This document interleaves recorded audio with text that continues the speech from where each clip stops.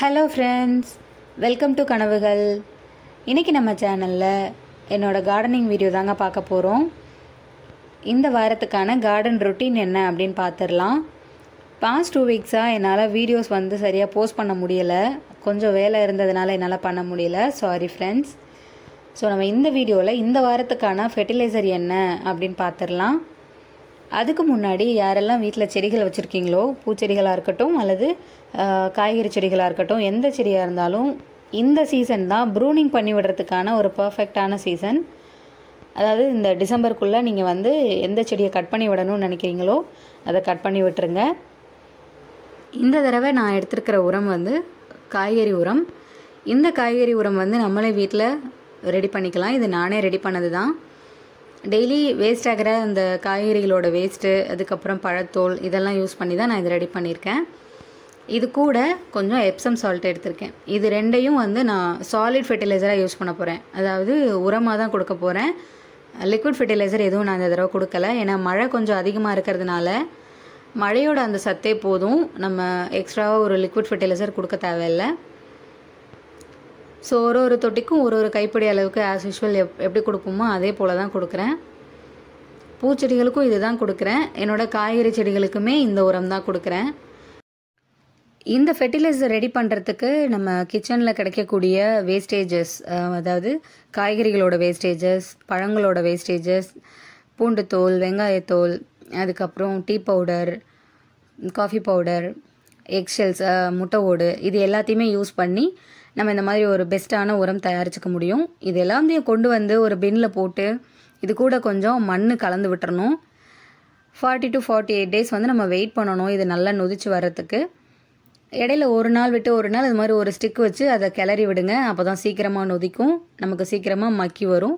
இது நல்லா மக்கினதுக்கப்புறமா நம்ம செடிகளுக்கு தாராளமாக இந்த ஃபெர்டிலைசராக யூஸ் பண்ணிக்க முடியும்.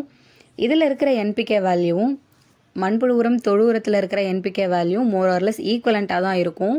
ஸோ இதை நம்ம பயப்படாமல் காய்கறி செடிகளுக்கும் யூஸ் பண்ணலாம். ரொம்பவே ஹெல்த்தியான ஒரு ஃபெர்டிலைசர்னே சொல்லலாம். கிராமப்புறங்கள்லாம் இந்த மாதிரியான தொழு உரம் மண்புழு உரம் கிடைக்கிறது ரொம்பவே ஈஸி அப்புறம் ஃப்ரீயாகவும் கிடச்சிரும். பட் ஆனால் இந்த மாதிரி சிட்டி சைடில் இருக்கிறவங்களுக்கு இந்த உரங்கள் கிடைக்கிறது ரொம்ப கஷ்டம். அதே சமயம் ஃப்ரீயாகவும் கிடைக்காது. அப்படி இருக்கிறவங்க இந்த மாதிரி நம்ம ஓனாகவே வெஜிடபிள் வேஸ்டேஜை யூஸ் பண்ணி ஒரு ஃபெர்டிலைசர் செஞ்சுக்கிறது ரொம்பவே நல்ல விஷயம். அதுவும் இல்லாமல் டெரஸ் கார்டன் வச்சுருக்கிற நிறைய பேருக்கு இருக்கிற ஒரு பெரிய சேலஞ்சிங்கான விஷயம் என்னன்னு பார்த்தீங்கன்னா ஃபெர்டிலைசர் கொடுக்கறது தான். செடிகளுக்கு உரம் கொடுக்கறது தான். சில பேர் வந்து நான் தண்ணி விட்டேன். என் செடிக்கு டெய்லி தண்ணி விடுறேன். காய விடாமல் ஆனால் என் செடி வளரவே மாட்டேங்குது. பூக்கவே மாட்டேங்குது. ஒரு காய் கூட பிடிக்க மாட்டேங்குது. பிஞ்சு பிடிக்க மாட்டேங்குது. அப்படின்னு நிறைய கம்ப்ளைண்ட் சொல்லுவாங்க. அது எல்லாத்துக்குமே காரணம் செடிகளுக்கு போதுமான ஊட்டச்சத்து கிடைக்காதது தான். நம்ம எப்படி மூணு வேளையும் நல்லா சாப்பிட்டு தண்ணி குடிக்கிறோமோ அது போல் செடிகளுக்கும் நம்ம சாப்பாடு கொடுத்து தான் தண்ணி கொடுக்கணும்.